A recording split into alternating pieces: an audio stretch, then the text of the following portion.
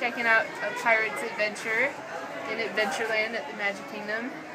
And while we were doing some of the adventures, we found a little nod toward the different Scavenger hunts. scavenger hunts around Disney World. They got the Perry the Platypus one in there, and Sorcerers of the Magic Kingdom, and then the Kim Possible one.